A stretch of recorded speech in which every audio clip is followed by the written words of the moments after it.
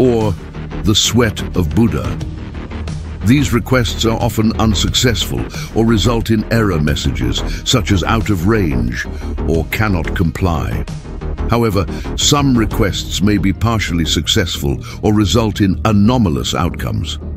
SCP-294 can also produce liquids that are related to other SCP objects or phenomena, such as SCP-999 slime, SCP-173's blood, SCP-096's tears, SCP-049's cure, SCP-079's coolant, or SCP-001's essence.